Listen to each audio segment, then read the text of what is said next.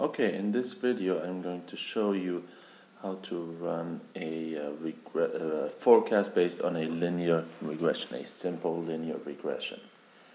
And the idea is basically that we have data with uh, some kind of a growth component in it and uh, it's uh, moving upwards.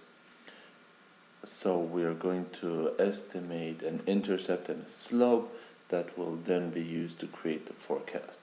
We're only going to use the first year of data, which is the first 12 months that we have here, to create um, our uh, regression uh, coefficients to estimate the intercept and the slope, and then we're going to apply the regression to, uh, to the entire set of data. Now let's get started. So first of all, we have to calculate our intercept and our slope. There are several ways to do uh, to run a regression in, in Excel, but the easiest one for this case is to just use the intercept and the slope function. So to use the intercept function, we type in intercept, and then we open the parentheses, and then it asks us for two things, our known y's and our known x's. Our known y's are basically the uh, uh, output that we want the forecast to achieve. So in this case, that would be our demand. So we are going to highlight the first 12 months of demand. And then unknown x's are going to tell us where in the time series we are. So for that, I've created this column here that's called period. I'm going to hi highlight there again the first 12 periods. I'm going to close the parentheses and then it will give us a intercept of 80.667. Now to calculate the slope it works very similarly. We're going to type in slope, open parentheses, and then the function uh, uses the same logic. We highlight our first 12 months of demand, and then we highlight our first 12 periods that are numbered sequentially. We close our parentheses, hit enter, and here we go. Our slope is 7.577. Alright, so now in order to uh, create the forecast, we have to uh, basically type in the reg regression equation into uh, our forecast column. So, before we type in the actual regression equation, we want to make sure that we don't forecast half units. So we're going to use the round function. And we're going to say round. And then the general way a regression is, uh, is set up is the forecast equals the intercept plus the slope times how many periods we are in. So we are going to say intercept. We want to make sure that when we copy this formula down, it stays put. So I'm going to hit F4. It's going to place two dollar signs in there. And that will ensure that when we copy the formula, it will stay put. Plus slope times the period number. Now again for slope we have to go back and also hit the 4 and make sure that it stays put when we um, copy the formula down. And then I am just finishing up this formula here by making sure that the round function is complete. We close the parentheses and there we go. That's our regression equation. Now all I need to do is I need to copy this down and here we go. We see on our graph we just created a straight line forecast for two years worth of data. It fits a little better for the first year than for the second year because for some reason the slope changes slightly in the second year. However, that is basically uh, how a uh, simple linear regression would work.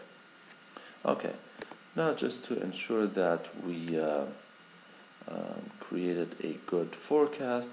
I'm going to leave out the first period for because uh, in order cal to calculate the U statistic we uh, we need uh, one period before. So I'm going to just consistently calculate all my uh, forecast accuracy measures for starting in period 2.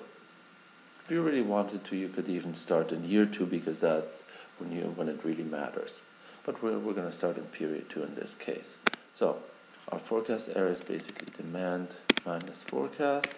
Our absolute error is the absolute value of that forecast error. Our percentage error, we're going to do the uh, absolute percentage error in this case, equals our absolute error divided by demand. Our squared error is basically our error term that we raise to the second power. And then finally, the denominator for our U statistic, which the, the statistic basically compares how good this forecast is to the naive forecast. So we the the numerator of that is the squared error. We just need the denominator, which would basically be the squared error we would have obtained if we would have used uh, the naive method. So that is, we have to open up parentheses, demand of the current period minus demand one period earlier, because that's what the naive method would use as a forecast, and we raise that to the second power. Okay, so now all we need to do is we need to copy all of these formulas down here and I set up uh, the error, the absolute error, the percentage error, and the squared error columns with conditional for, uh, formatting so we can see a little bit um, where most of the errors occur and it uh, just visually makes it a lot easier to, to see how good our forecast is.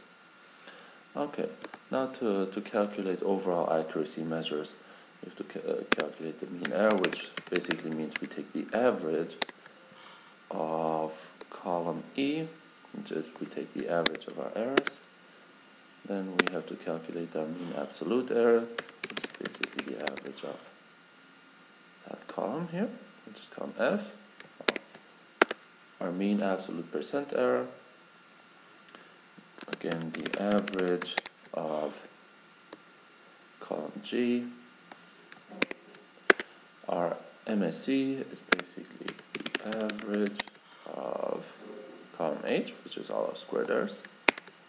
And then finding the U statistic is the square root of the sum of the squared errors divided by the sum of uh, the squared errors we would have obtained with, uh, if we would have performed the U statistic. We see SQRT, QRT, open parentheses, and then we want to sum.